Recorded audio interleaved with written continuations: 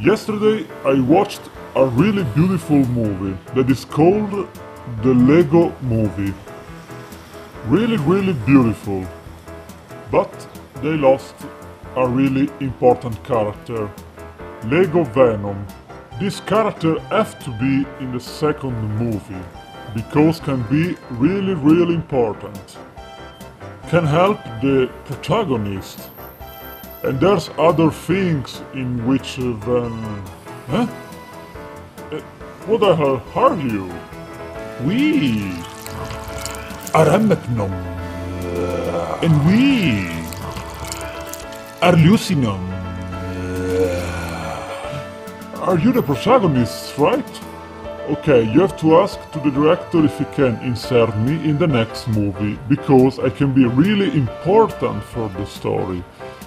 Okay, if you want, I can give you my number. Is this... Uh, can, can, why? Why?